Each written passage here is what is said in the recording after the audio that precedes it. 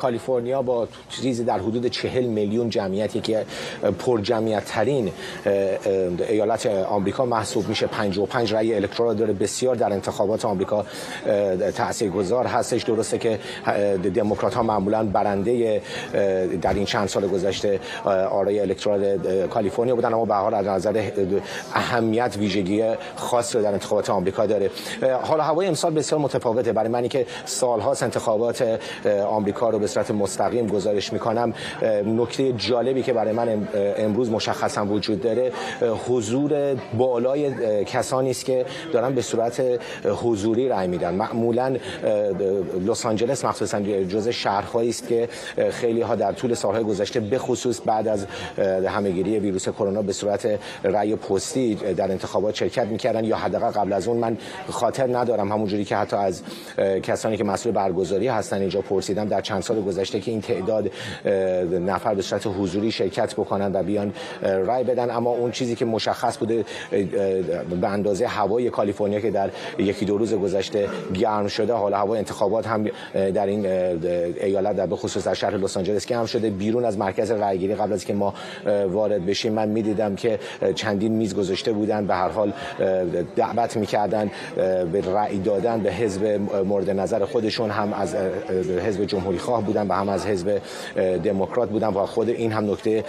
جالبی است. به حال در اون محل رأیگیری که ما هستیم جایی هستش که نزدیک هست یا بهتر بگم یکی از مراکز رأیگیری است که ایرانیان بسیاری هم در اونجا میان و رأی میدن و من تعداد بسیاری از ایرانیان هم دیدم که اونها هم داشتن اینجا به صورت حضوری رأی می‌دادن. پیام.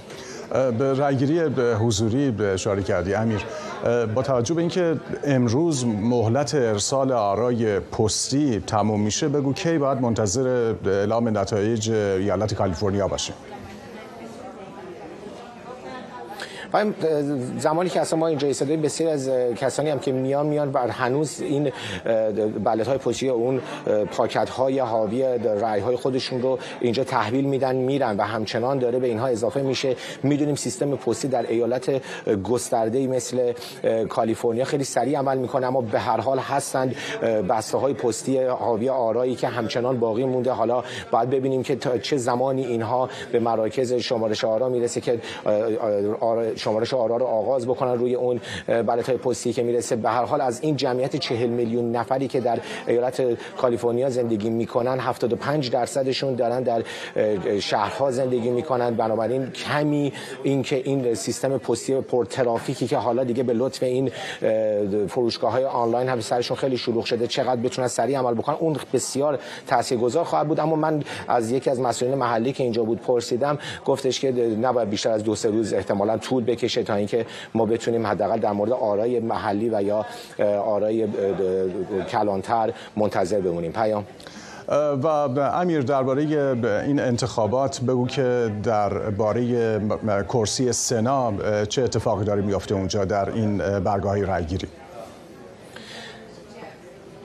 رقابت بسیار جذابی درگیر هستش بین دو کاندیدای دموکرات پیام و شانس آقای چف بالاتر هستش بدن که ادم چف به هر حال چهره شناخته شده تری هستش. اون چیزی که مشخص هستش او حتی در طول قشنگ پلن داشته. یعنی در طول سالهای گذشته خیلی نقش پررنگی داشته. یکی از مخالفین اصلی آقای ترامپ بوده بسیار صحبت می‌کرده علیه بود مقابل مدیا بوده با مدیاهای مختلف صحبت می‌کرده با تلویزیون ها و شبکه های خبری مختلفی صحبت می‌کرده رابطه خوبی با اونها داشته تبلیغات گسترده ای رو کرده. البته در اونور کاندیدای دیگری هم هستش که خانم کیتی پورتر او هم شانس بالایی رو داره. این رقابتی که بر سر این کرسی سنا بین نمایندگان دموکرات وجود داره یکی از جذابیت هایی است که در انتخابات کالیفرنیا دیده میشه. اما با توجه به اون چیزی که آقای آدمچپ حتی در جمع ایرانیان حضور پیدا میکردش من خود من باهاش مصاحبه کردم در یکی از تجمعات اعتراضی که ایرانیان در جریان اعتراضات سراسری سال گذشته داشتند با او مصاحبه کردم. سعی می‌کرد که به هر حال هر جایی که اتفاقی هستش حضور داشته باشه. شانس او را خود تحلیلگران داخلی کالیفرنیا هم بسیار بالا می‌دونن